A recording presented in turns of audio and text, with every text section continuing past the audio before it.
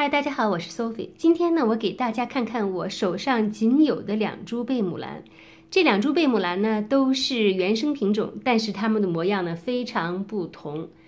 呃，这一株呢是迷你型，它的生长习性呢非常的自由散漫，到处乱长，呃，长得非常快。呃，另外的一株呢是相对大型一点的。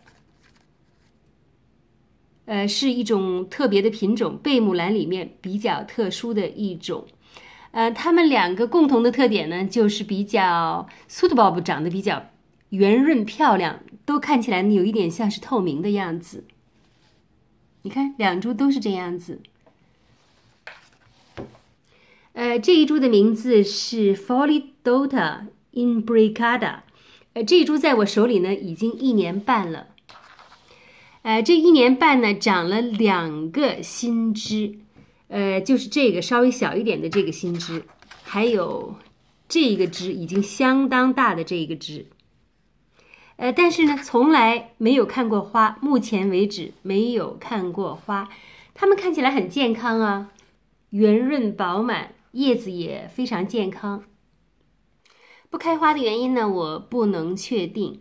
呃，他们喜欢呢，这个呢，这一株呢比较喜欢，呃，湿润，呃，没有强光照的环境。呃，它现在的植料呢是水苔，永远都是保持湿润。呃，它坐在我花架的第二层，没有阳光直射，看起来长得相当的健康。就是不知道今年长的这两个新枝条呢，有没有可能开花？它们的花期呢很短，只有一周左右，呃，是小花，麦穗状，长长的一串，所以呢，呃，有的地方呢也把它们叫做项链兰。呃，我不确定它不开花的原因呢，是不是一一直呢，因为它在室内呢没有温差的缘故。呃，这个呢，我目前还不能确定，看看今年的情形会怎么样呢？呃，另外一颗呢，这一颗在我手上呢只有三个月的时间。呃，它的名字呢是 s l o g e n y fibreata。呃，虽说只有三个月呢，但是长得实在是非常的快。这三个月期间呢，长了很多新的枝芽出来。你看，差不多每一只都有新芽。呃，现在是五个新芽。呃，这一株呢，开花呢是在。每年的新枝上长成以后开花，会在秋天开花。呃，每一个成熟的枝条中间呢都有可能开花，就是两片叶子的中间会长花亭出来。每个花亭呢会有一到三朵花，花不大，但是花期非常长，而且很香。这个我相信今年应该有机会看花吧，因为现在你看有这么多新的呃枝子长出来。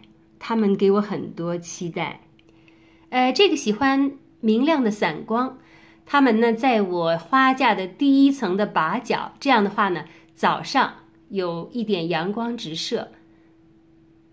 目前为止呢，这株在我手里只有三个月，它现在的植料呢还是 bark mix，呃，全是树皮，我没有换过植料，呃，看起来呢目前长得不错。呃，生机勃勃的样子，好像每天都能看到这个新芽在长大似的，长得非常快。